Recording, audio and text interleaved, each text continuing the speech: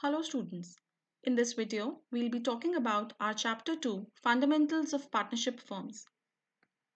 The subtopics to be covered are difference between charge and appropriation, difference between profit and loss account and profit and loss appropriation account, journal entries regarding profit and loss appropriation account, and the format of profit and loss account and profit and loss appropriation account.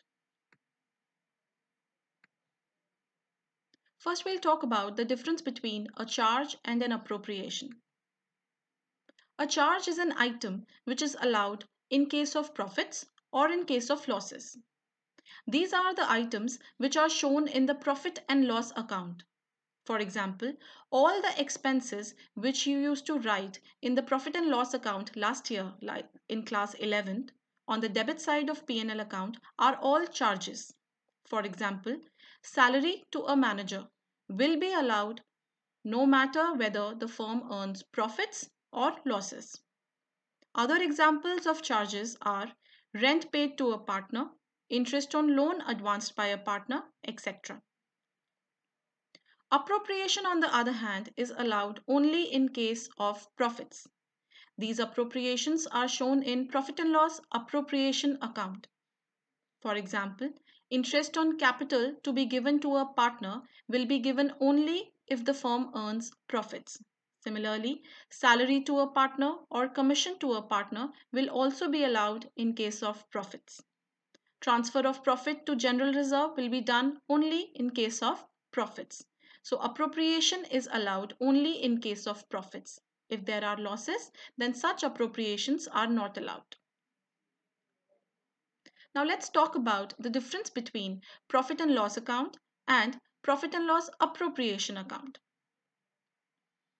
First of all, we have studied in class 11th that a profit and loss account shows us our net profit earned. So you have to remember that profit and loss account is prepared after we prepare the trading account. After we get the gross profit or gross loss and it is transferred from trading account to the profit and loss account. This profit and loss account helps us in determine, determining the net profit. On the other hand, profit and loss appropriation account is prepared after the profit and loss account.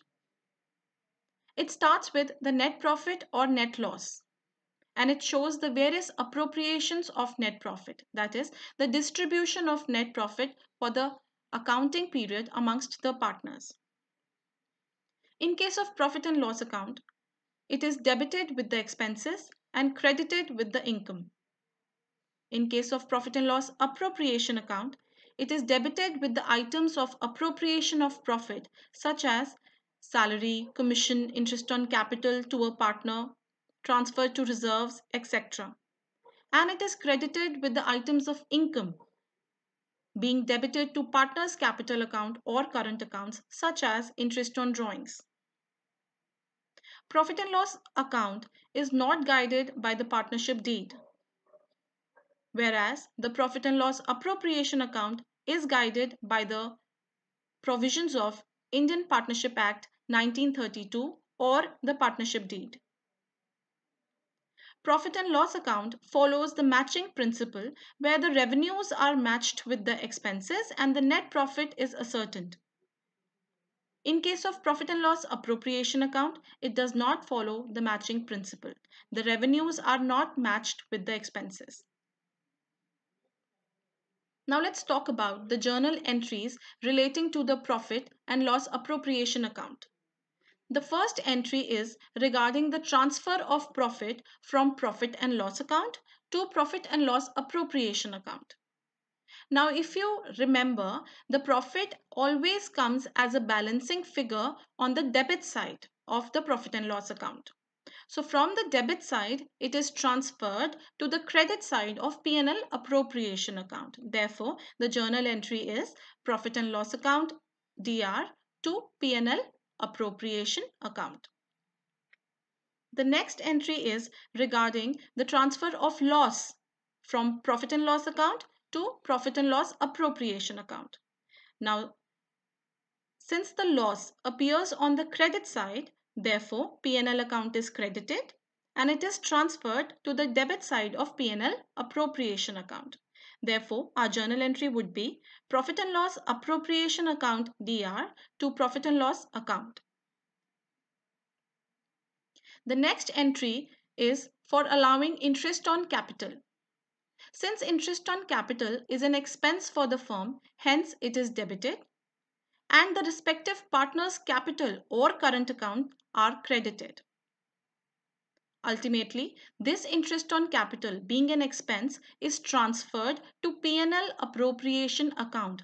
Now, why this interest on capital is transferred to P&L appropriation account and not the P&L account? Because interest on capital is an appropriation and all appropriations are transferred to P&L appropriation account. The next entry is for charging interest on drawings.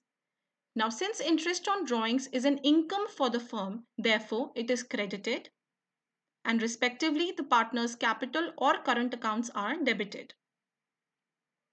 Interest on drawings being an income is transferred to the credit side of P&L appropriation account. Therefore, the second entry is interest on drawings account DR to profit and loss appropriation account. The next entry is for partner's salary or commission. Salary or commission being an expense is debited. Since the partners get it, so therefore partner's capital or current account is credited. Again, on the same logic, salaries and commission being an expense are transferred to the debit side of P&L appropriation account. Therefore, the second entry is for the transfer of the salary or commission to P&L appropriation for the transfer to reserves out of profit. If there are profits, then some amount may be transferred to reserve. The journal entry for the same may be profit and loss appropriation account DR to reserve account. For interest on partner's loan. In case the partner has given loan to the firm, that interest is an expense for the firm since the firm has to pay that interest to the partner. So therefore, the journal entry would be interest on partner's loan account DR to partner's loan account. The second entry would be profit and loss account DR to interest on partner's loan. Now I would like to draw your attention to a different parameter here that interest on partner's loan although it relates to a partner still it is transferred to P&L account and not P&L appropriation account. The reason is that interest on partner's loan is a charge. We have to pay the interest to the partner whether we earn profits or whether we go in losses. Now since it is a charge therefore it is debited to profit and loss account, not profit and loss appropriation account. The next entry is for the transfer of credit balance of P&L appropriation account in case when you balance the P&L appropriation account and you get the balancing figure on the debit side that is the divisible profit. So therefore the entry is P&L appropriation account DR to partner's capital or current account. For transfer of credit balance of P&L appropriation account, if the balancing figure comes on the credit side, it means there is divisible loss. For the divisible loss, the entry would be partner's capital or current account DR to P&L appropriation account. Now let's look at the format of P&L account. Since you are already aware about the format of P&L account, in this chapter, you will be given certain few entries relating to P&L account. As you already know that on the credit side, the net profit is shown and on the debit side, the net loss is shown. Now, various charges which may be given. Charges means those things which are allowed in case of profits also, in case of losses also. All the charges will be mentioned on the debit side I've written here few manager's commission, rent paid to a partner and interest on partner's loan. All these three things are charges. Then the balancing figure if on the debit side would mean the net profit and if it comes on the credit side it would mean the net loss. Either net profit or net loss will be the balancing figure. which will then be transferred to the P&L appropriation account. Now let's look at the format of P&L appropriation account. If you look on the credit side, by profit and loss account, net profit subject to appropriations. This profit and loss account means the profit that has been transferred from the P&L account. On the debit side, you have interest on capital, partners' salaries, partners' commission, and transfer to reserve, all the appropriations. On the credit side, you have interest on drawings, which is an income for the firm. The balancing fig figure would be the profit transferred to the partner's capital account.